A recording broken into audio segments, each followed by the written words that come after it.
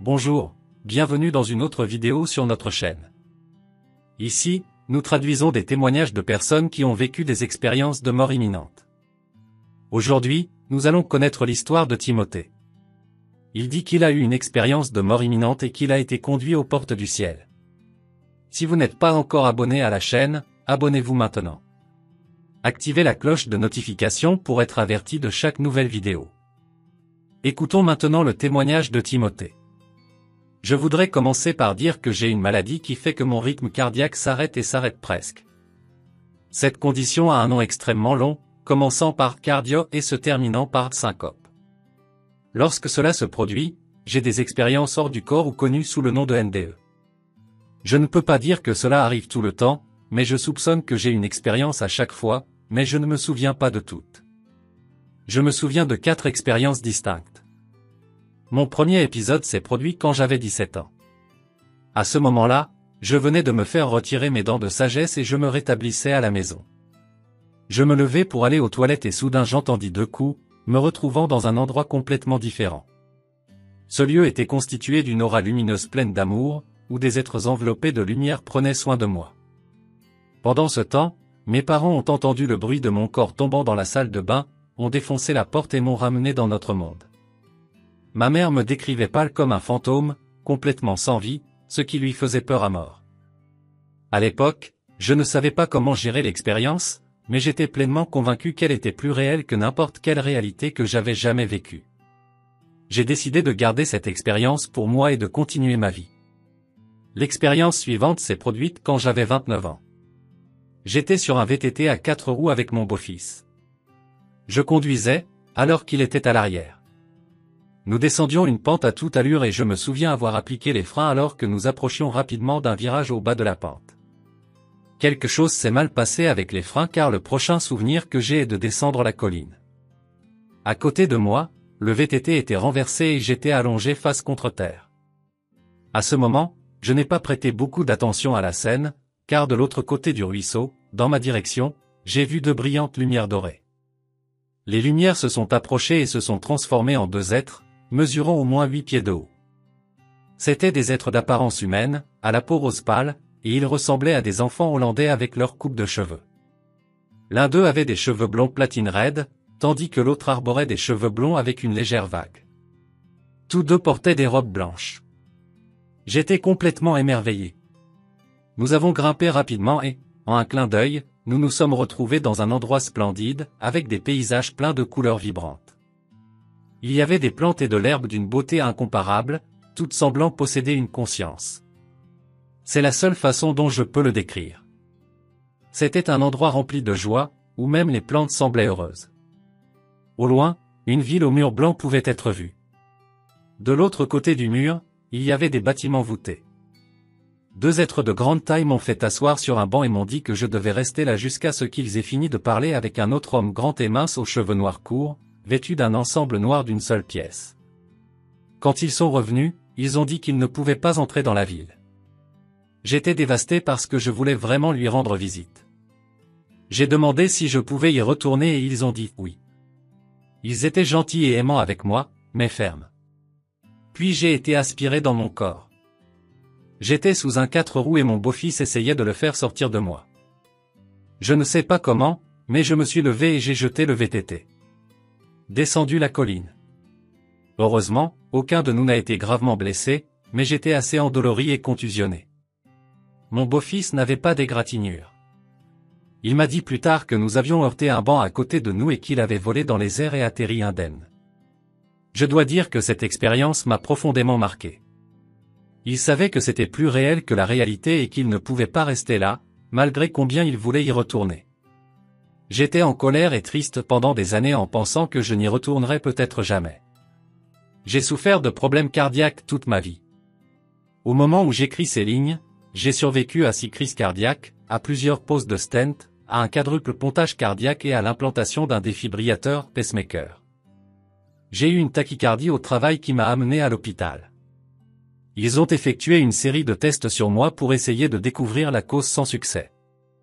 Au cours du processus, lors du test d'inclinaison, on a découvert que j'avais la maladie de la syncope cardio. J'ai raté le test. Mais quand je l'ai fait, j'ai quitté mon corps pour me retrouver dans un couloir sinueux et sinueux. Au-dessus se trouvait une belle lumière multicolore, remplie d'amour et de gentillesse, que je poursuivais sans cesse. Tout ce à quoi je pouvais penser était de lui tendre la main. Cependant, j'ai été soudainement tiré hors de cet endroit et j'ai réalisé que j'étais dans un labyrinthe géant. J'ai été rapidement ramené dans mon corps sur la table d'opération alors que les médecins me demandaient comment j'allais.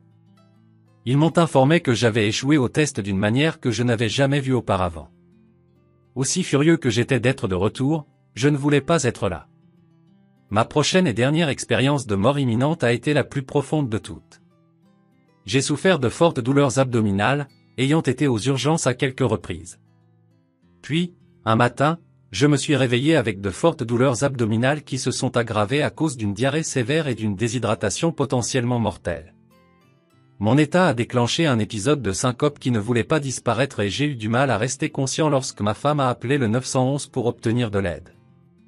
J'ai eu du mal à rester conscient jusqu'à l'arrivée des sauveteurs. Ils m'ont emmené dans un fauteuil roulant jusqu'à la civière et m'ont demandé de monter dessus. Cependant, je ne pouvais pas me lever tout seul et j'avais besoin de leur aide.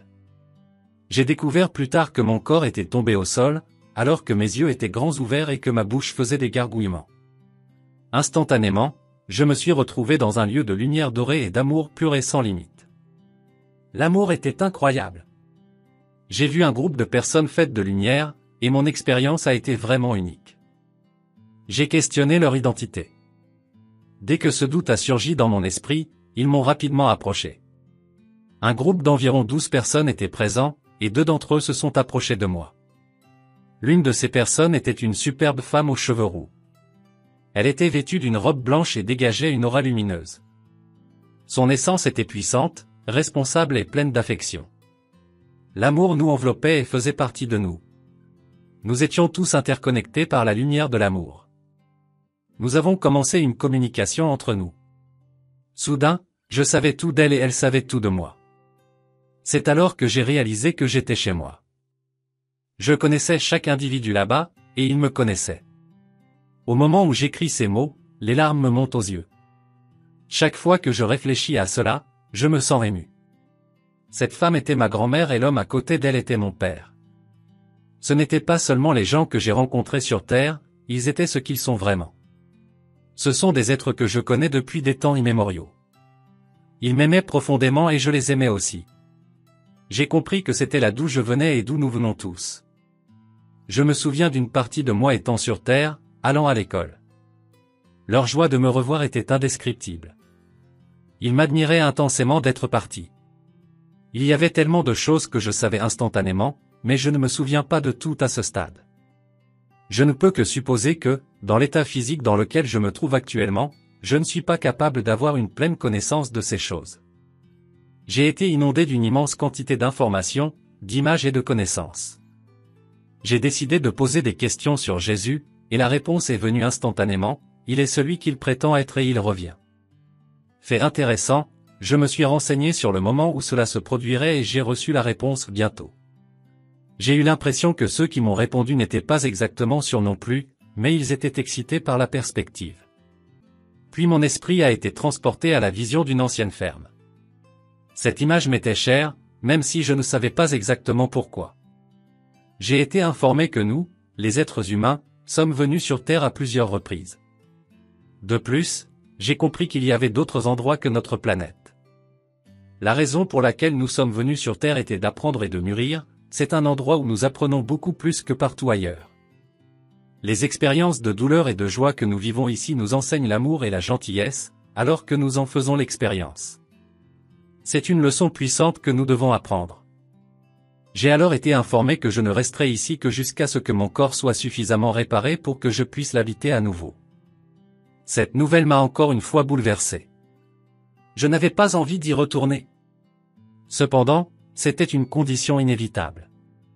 J'étais allongé sur mon corps et une femme a tendu la main pour m'embrasser. Soudain, j'ai été éloigné et laissé avec un dernier message, faites confiance au Seigneur. En un instant, je fus ramené dans mon corps. À ma grande surprise et détresse, mon beau-fils se tenait au-dessus de moi, me secouant et criant, Papa. Papa. J'étais dans un état de détresse considérable. Alors, qu'avez-vous pensé de cette histoire incroyable? Laissez vos avis dans les commentaires. N'oubliez pas de vous abonner à la chaîne. Apportons à plus de gens l'espoir qu'il y a de la vie au-delà de ce que les yeux peuvent voir.